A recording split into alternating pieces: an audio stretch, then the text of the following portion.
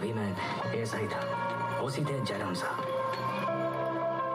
Jairam Singh father शादी officer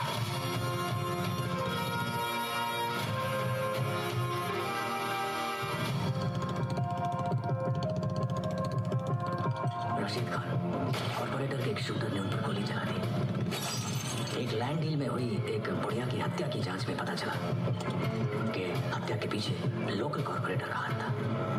पर उस कॉर्पोरेटर के खिलाफ कोई सबूत नहीं मिला और पुलिस रशीद खान को भी पकड़ नहीं पाई। शूटआउट में उनकी पत्नी रेहाना मैडम भी मारी गई। और और ये सारी घटना घटी उनके दस साल के बेटे जयदेव के सामने। अलग मज़हब की शादी थी। इसलिए कोई भी रिश्तेदार जयदेव का बोझ नहीं उठाना चाहता था। तब मैंने उसे अपने पास रखने का फैसला किया। चार महीने से तुम्हारे साथ रह रहा है। अच्छी बात है। लेकिन आज नहीं तो कल तुम्हारी शादी होगी। और तुम कह रहे हो शादी के बाद भी वो तुम दोनों के साथ रहेगा।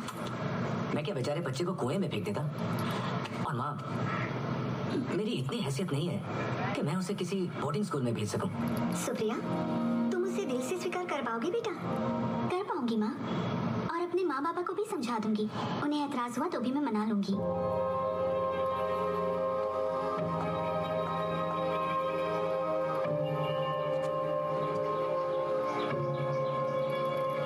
मैं हूँ सुप्रिया। और वो समीर। कुछ सोचा है? हमें क्या बुलाओगे? उन्हें मामा। मुझे मामी।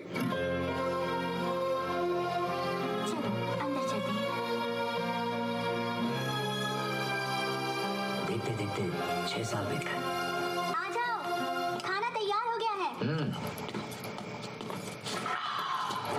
आप बैठो होमवर्क कंप्लीट फिफ्टी वर्ड्स में लिखना है मुझे।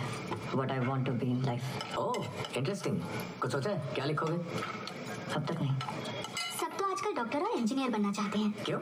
उसके बाबा पुलिस थे। मामा पुलिस है। ये भी पुलिस बनेगा है ना? हाँ मामा। पुलिस की वर्दी की जो ताकत है, वो वही समझता है, जो पहनता है।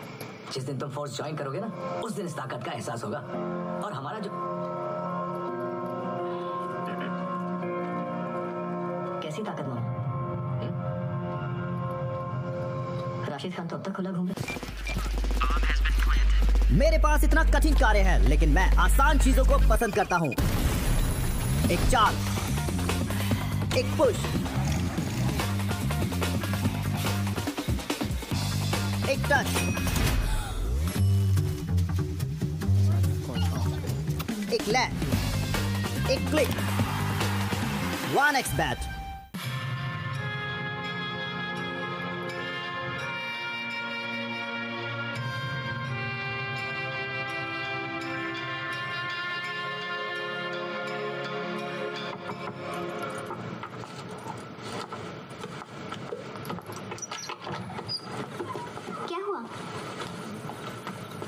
Jaidev क्या हुआ? अरे, क्या हुआ बेटा? आपसे मैंने बदतमीजी से बात की, मामा। सॉरी कोई बात नहीं। कोई बात नहीं बेटा।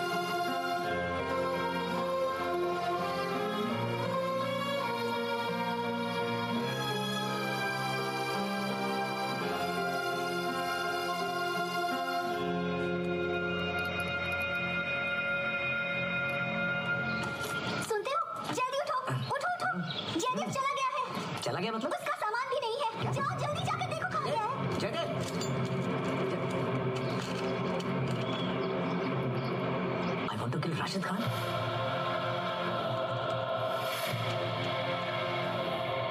मामा मैं घर छोड़कर जा रहा अब तक पुलिस मेरे माँ बाप के खूनी को सजा नहीं दे पाई।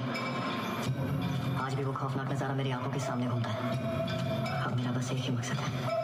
I want to kill Rashid Khan. उसके बाद चौदह साल बीत गए। जयदेव के साथ मेरा कोई संपर्क नहीं रहा। पर था तो मैं पुलिस वाला। सारी खबर मिल जाती थी। अचानक उन्नीस सौ पचानवे सेकेंड अप्रैल एक फ़ोन आता है। मुर्शिदाबाद के डीएसपी गौतम बोस का। उनका डीसीडीडी की पोस्ट पर हाल ही में लाल बाज़ार ट्रांसफ़र हुआ था। कमिंग गौतम सर अब क्या चाहिए सर गुड मॉर्निंग कहने आया था। गुड मॉर्निंग टीम पहुँच गई है sir sit thank you sir Gautam हमने हमेशा तुम्हारी रिक्वायरमेंट्स पूरी की है। Time's going against all protocol but I want results sir Murshidabad से जब रातों रात खींचकर लाल बाज़ार में ले ही आए हैं तो रिज़ल्ट भी मिल ही जाएगा। चलता हूँ सर आयन का एडमिशन हो गया। हाँ सर जेवियर्स के फादर ब्राउन ने आप ही की तरह अगेंस्ट ऑल प्रोटोकॉल आयान का मिड टर्म एडमिशन कर ही दिया। एक छोटा सा सजेशन है। तुम सुबह की चाय में चीनी थोड़ी ज़्यादा लिया करो। तुम्हारी ये टेढ़ी मेरी बातें शायद कम हो जाए। गौतम बोस एक दबंग ऑफिसर थे। चाहे कहीं भी पोस्टिंग क्यों ना हो शेर और गाय दोनों एक ही काट का पानी पीते थे। Good morning sir sorry sir train late थी। नो प्रॉब्लम इंट्रोड्यूस करवा दो। Sameer Sinha senior inspector Karimpur. Sameer के अलावा तुम सभी ने मेरे साथ काम किया है। अरुण सेन विनय समझदार मोहसिन खान। हेलो। तुम सब सोच रहे होंगे अचानक तुम्हें यहाँ क्यों बुलाया गया है? है ना? तुम सभी को सरकार की तरफ़ से एक लॉटरी का टिकट दिया जा रहा है। हम्म? बैठो। अमित एंड्रू ब्रिगेंजा। देवू भौमिक। अरुण राय। उर्फ़ कालू। नामचीन शार्प शूटर बास की तरह तेज। बलाई माइती।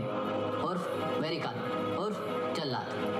गौरीबारी सिटीजन्स कमेटी के हत्याकांड का चीफ आर्किटेक्ट श्यामल घोष, उर्फ़ डैम कालू, नक्सलों के लिए गनशल फैक्ट्री लूटने वाला मास्टरमाइंड और इन सभी का सरदार जयदेव सिंह, उर्फ़ चेंगिस, कलकत्ता के अंडरवर्ल्ड का पोस्टर बॉय गोल्ड का बेताज बादशाह, इस तरफ़ बंगाल से यूपी, और दूसरी तरफ़ बांग्लादेश, ये है चेंगिस का एम्पायर यही है वो लॉटरी का टिकट ब्रिंग हिम डाउन जो चाहिए मिलेगा।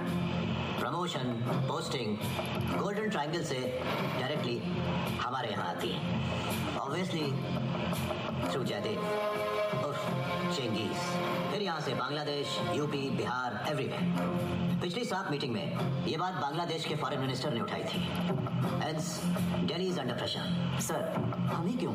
अगेंस्ट ऑल प्रोटोकॉल ये स्पेशल टास्क फोर्स इन्वेस्टिगेशन करवाई जा रही है बाय डिस्ट्रिक्ट ऑफिसर्स क्योंकि राइटर्स एंड लाल बाज़ार दोनों ही कॉम्प्रोमाइज्ड हैं। यार दोस्त फैमिली मेंबर्स जिनसे मिलना है, बात करनी है, कर लो।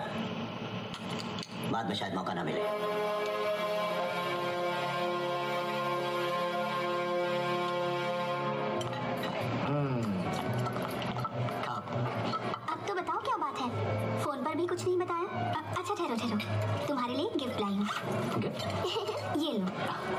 क्या है ये मेरे और रुषा की तरफ़ से तुम्हारे लिए। वाह बढ़िया है पर अब तुम कैलकाटा पुलिस में हो। थोड़ा बहुत शो ऑफ़ तो बनता है ना? पापा पहनो ना? ओके बाबा।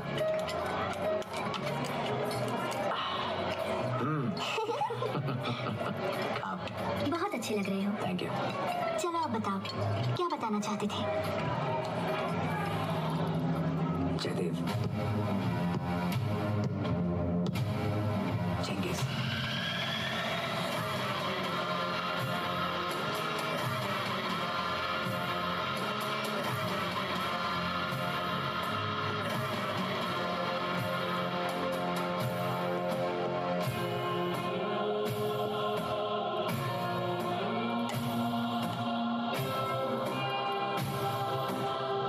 कैसे हो मामा? मामी मैं अच्छी हूँ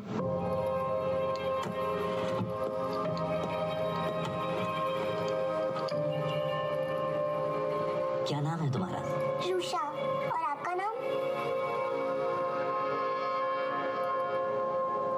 तुम्हारे पापा ही बोलेंगे। क्यों आए हो मामा? समझाइए मामी समझाइए। बाल सफ़ेद हो गए हैं। इस उम्र में क्या ये सब अच्छा लगता है? कब तक है यहाँ? कल ही वापस करीमपुर जा रही हूँ। तो मामा को भी साथ ले जाइए। कोई डर नहीं। मामा को कुछ नहीं होगा। होने नहीं दूँगा।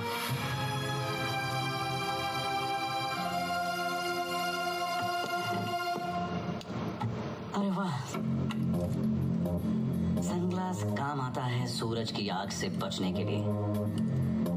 जिस दिन चंगेज के खिलाफ कोई पक्का सबूत मिल जाएगा उस दिन काम आएगा। चंगेज की आग से बचने के लिए। ये कौन है बाबा? कह सकती हो तुम्हारा बड़ा भाई।